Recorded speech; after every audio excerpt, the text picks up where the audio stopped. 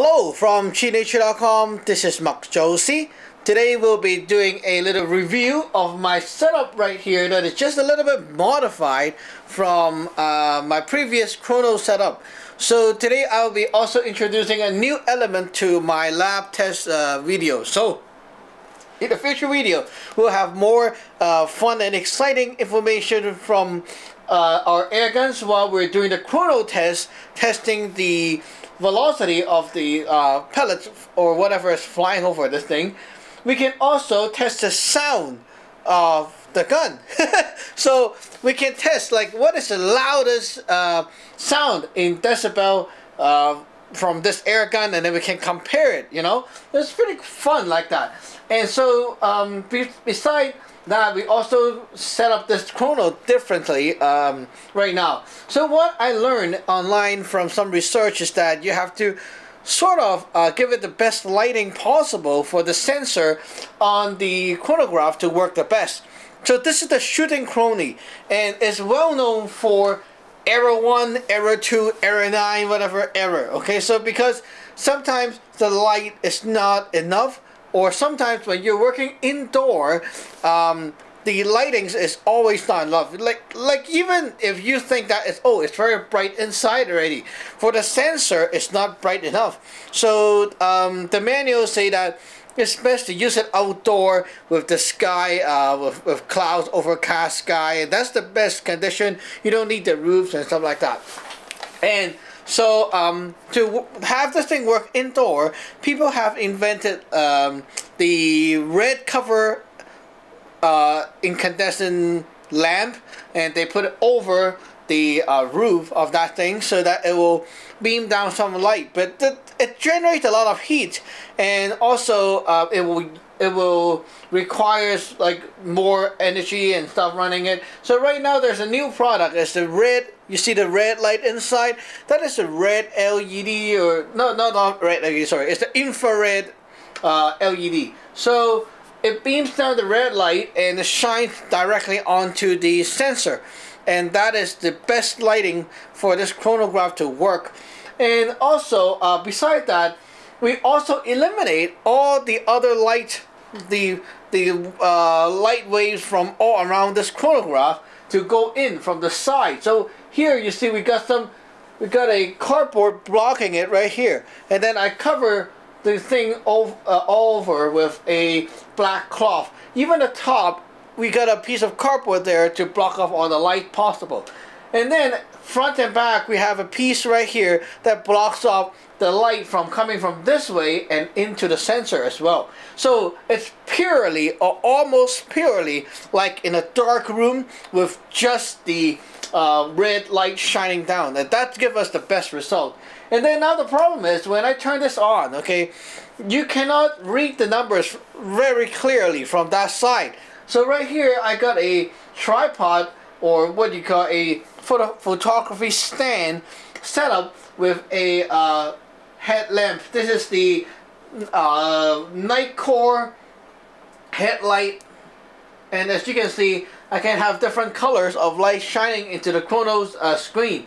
So we got blue, green, red, etc. And then I can even use the white LED which is too bright sometimes. So um, setting this thing to the right level, I choose to use red just to match that color and not overwash it. And then right here we will turn on this uh, decibel meter and now let me zoom in and let you see. Um, before I start, let me show you how I will be using this thing. Right there, I got a trap set up. Okay, what I will do is I will pump or whatever, rifle, gun, whatever. Okay, just take this as a an example. Okay. What I will do usually is uh, have my gun ready, pellets. Okay, I'll put one pellet in. Okay, like that. And then I will be, uh, depending on the gun, like sometimes it's a rifle, you need to move back a little bit. Uh, like that, okay, so I need to raise myself up. But this one is a pistol. So pistol, I put this on a level so I can basically have my barrel above this this piece here, above it, okay, and then I can just aim. So make sure that my barrel is above this uh, piece that I set up for aiming. and then I just stand back a little bit. There we go. So I aim at the bullseyes over there through the trap and then we can have a reading right here. So let me zoom in and let you see how that reading is like. So right now let me zoom in and you can see it clearly. Okay, I set up the um, this thing just good enough so that you can see it right here. You see? Okay, so right here I usually have to bring you guys over a little bit to here. So you can see the decibel uh, right It's a 60 something 50 something decibel and then you can also see the uh, FPS right there you see that the light reflection and all that is all gone and everything is so clearly seen you see? Even the numbers? Right now you can read the numbers so clearly. Okay let me go over there and show you uh, and with another shot example. Okay so now I'm going to pump this gun Crosman 1 uh, 1377 Okay, just to uh, give it a sample shot. Okay, it's going to be low power. Okay, so right now we're going to set this thing to show the max uh, decibel only. Okay, this one, the max decibel. Okay, let's be quiet.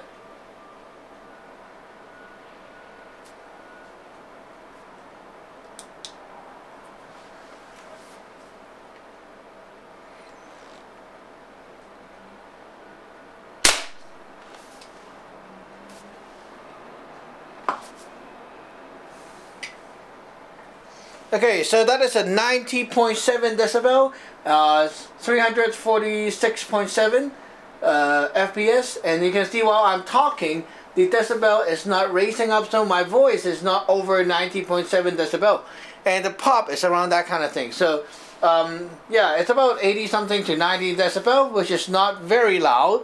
Uh, the loud one are above 100 decibel. This, this is considered a quiet gun. So if you actually take a look right here, I can you can see the numbers very clearly right now, right? So in comparison, maybe we'll try a little bit louder, a louder gun, and you can see the gun will reach uh, over it, okay? So right now, let us uh, reset this thing.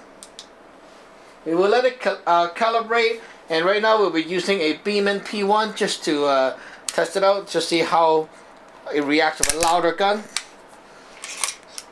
Okay, we're going to use it on high power, shooting Crosman uh, Premier pellets, .22 caliber. Okay guys, uh, now we are going to reset the Chrony and then we're going to set the uh, decibel meter. 1, 2, 3, 4, 1, 2, 3, 4. Oh, 1, 2, 3, 4. Okay.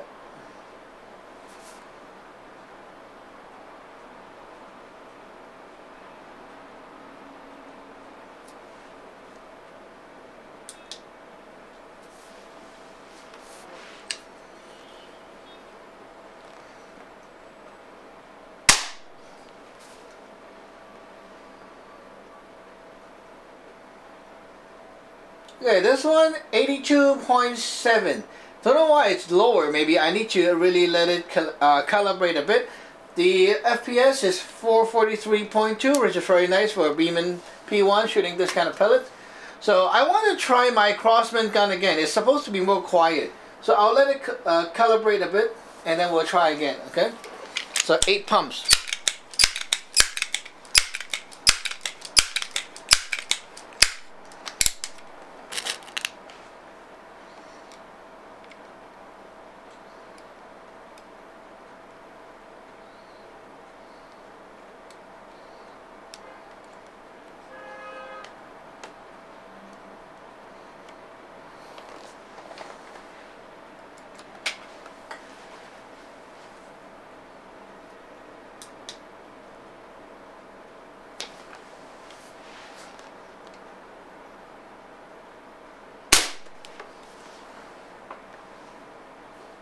Again 90.5 so somehow to the years this gun's supposed to be more quiet but it's uh, 19.5 the other one is 82 something so that's kind of weird.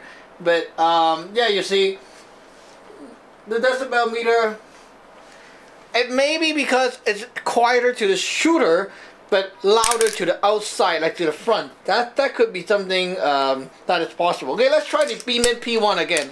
I'm not really sure why it's happening that way. Yeah, let me try the Beeman P1 again.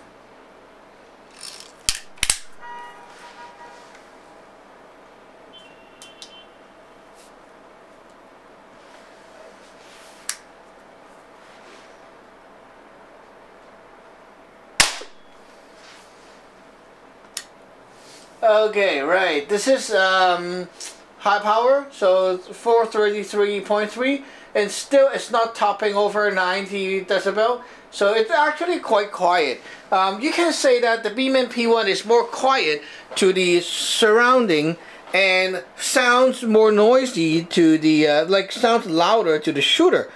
Um, so that's a pretty interesting thing you got to know. Like sometimes the guns is more quiet to the other people and louder to yourself. So I don't know. Okay, so basically that's uh, my little lab experiment today, and uh, so you can see it right here like that. Okay, pretty cool. Eh? I can now zoom out to this and go back to my uh, nice setup here. Okay, so basically that's my little lab test today. Thank you for watching. Remember to subscribe and like, and we'll see you in another official review video using this lab um, with other air guns. Bye-bye! Remember to subscribe and like. Bye-bye!